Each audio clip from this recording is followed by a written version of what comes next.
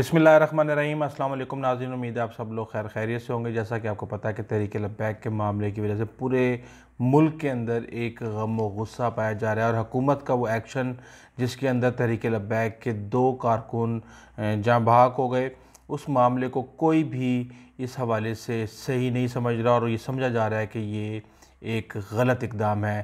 اس حوالے سے بھارت بھی ایکٹیو ہو چکا ہے، نہ صرف بھارت بلکہ جتنی بھی حکومت مخالف پارٹیاں ہیں، وہ بھی میدان میں ایک ایک کر کے آ رہی ہیں۔ مفتی منیب الرحمان نے پورے ملک کے اندر پہیہ جام ہڑتال کا اعلان کر دیا ہے۔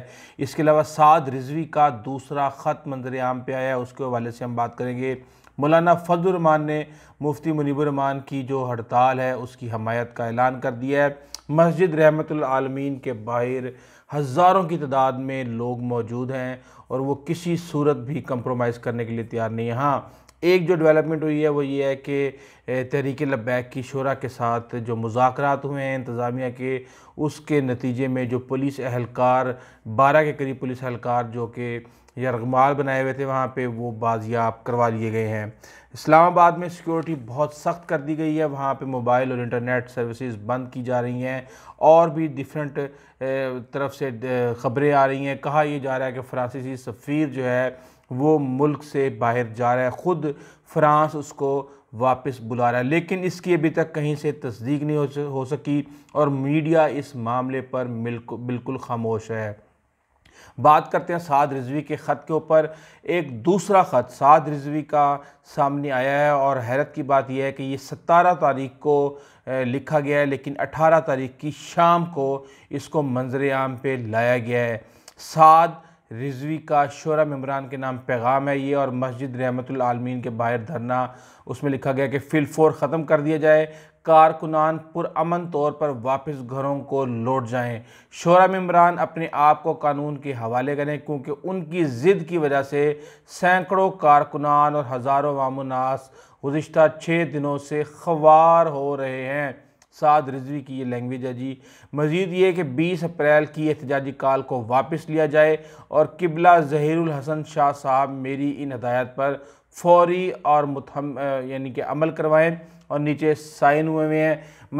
بات یہ ہے کہ یہ اس حوالے سے اس جو پہلا خط آیا تھا سعد رضوی کا، اس کو بھی شورا نے ریجیکٹ کر دیا تھا۔ انہوں نے کہا تھا کہ وہ حراست میں ہیں اور ان کے نام پہ کوئی بھی یہ خط لکھ سکتا ہے یا ان سے زبردستی لکھوایا جا سکتا ہے۔ وہ اپنا ویڈیو میسج کر دیں یا خود یہاں پہ آ کے اعلان کر دیں تو ہم اس کو تسلیم کرنے کے لیے تیار ہیں۔ بہرحال صورتحال روز بروز خراب ہو رہی ہے۔ مفتی منیب الرحمان نے کہا ہے جی کہ جتنے بھی کارکنان ہیں، ان کی رہائی کی جائے، جتنے جھوٹے مقدمات کیے گئے ہیں، ان کو واپس کیا جائے۔ ہم نے حکومت کو کہا تھا کہ یہ کام مت کریں۔ تمام لبیک کے جو شعرا کے ممبران ہیں، ان کے ساتھ بیٹھ کے بات کریں، مذاکرات کریں اور کسی بھی نتیجے پہ پہنچیں۔ لیکن انہوں نے بہرحال ایک ہنگامی طور پہ ایک اپنے جو ان کے ہم خیال لوگ تھے، جس کے اندر کوئی بیس، پچیس کراچی کے لیڈران تھے، مذہبی لیڈر تھے، ان کو بلا کے انہوں نے ملک بھر کے اندر پہیہ جام ہڑتال کا اعلان کر دیا ہے۔ یہ بیسیکلی تنظیمات اہل سنت کا ایک اجلاس تھا، جس کو فوری طور پہ، ہنگامی طور پہ لبیک کی کی لیے بلایا گیا تھا اور اس پریس کانفرنس یا اس اناؤنسمنٹ کے بعد پورے حال کے اندر لبیک یا رسول اللہ کے نعرے لگوائے گئے اور اور تحریک لبیک کے ساتھ مکمل ہم آہنگی کا اور یکجہتی کا اعلان کیا گیا۔ مولانا فضل الرحمان نے بھی ایک پریس کانفرنس کی اور انہوں نے کہا جی کہ ہم ہڑتال کی کال میں مکمل تعاون کا اعلان کرتے ہیں۔ جماعت اسلامی نے بھی حکومت کے جو اقدامات ہیں، اس کے اوپر سخت تنقید کی ہے، لیکن مسجد رحمت العالمین کے جو باہر لوگ کم ہونے کی بجائے بڑھ رہے ہیں۔ لوگ ہزاروں کی تعداد میں وہاں پہ موجود ہیں۔ اور رکن اور شورا جو ہے وہ ان کا یہ کہنا ہے کہ جی ہمارے انتظامیہ کے ساتھ مذاکرات چل رہے ہیں، لیکن اس کا جو فیصلہ جو بھی ہوگا، وہ شورا کی طرف سے اس کا اعلان آئے گا۔ پولیس اہلکاروں کے بارے میں میں آپ کو بتا چکا ہوں کہ جو ان کے ڈی ایس پی تھے، وہ بھی بلوچ فاروق، عمر فاروق بلوچ صاحب، ان کو بھی رہا کر دیا گیا ہے۔ ان کے ساتھ دو رینجرز کے اہلکار تھے، ان کو رہا کر دیا گیا ہے۔ اور ساتھ جو پولیس کے اہلکار تھے، ٹوٹل بارہ اہلکار تھے، ان کو مذاکرات کے بعد تحریک لبیک نے رہا کر دیا ہے۔ اسلام آباد کے اندر بہت زیادہ سیکیورٹی سخت کر دی گئی ہے۔ فیض آباد کے اندر رینجرز تعینات کر دی گئی ہے۔ وہاں پہ انٹرنیٹ سروسز کئی مقامات پہ بند کر دی گئی ہیں۔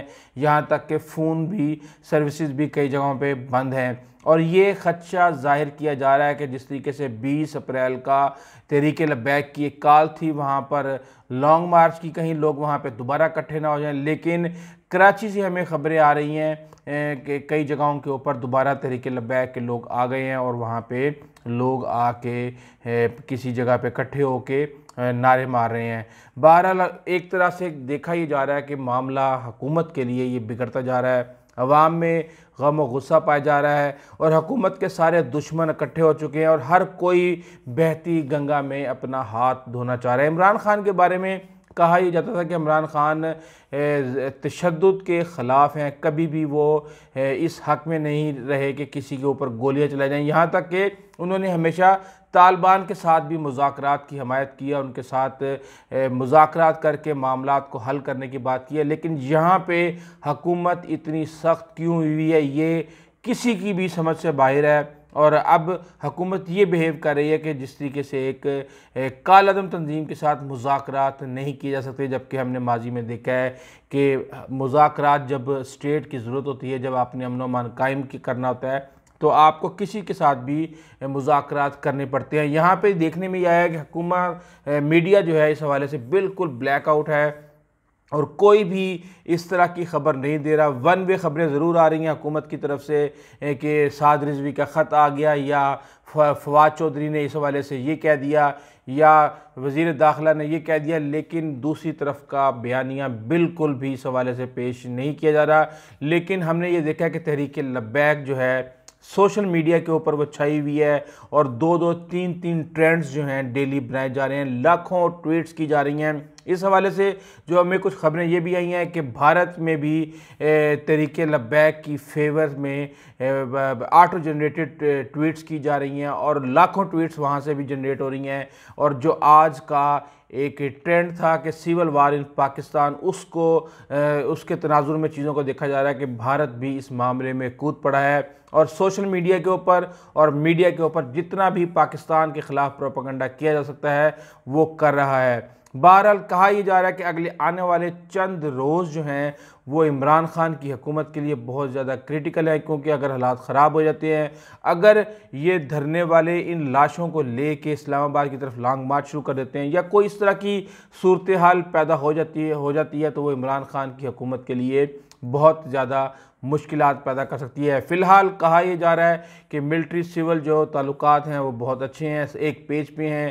ان معاملات کو جو ہے کٹھے مل کے اسٹریٹجی بنا کے ڈیل کیا جا رہا ہے۔ لیکن جس طریقے سے ہم نے دیکھا ہے کہ کئی جگہوں سے خبریں آ رہی ہیں کہ کئی پولیس اہلکاروں نے بات ماننے سے انکار کر دیا اس معاملے میں۔ کئی فوجی اہلکار جو ہیں وہ یونیفارم کے اندر اپنے ویڈیو میسیجز دے رہے ہیں۔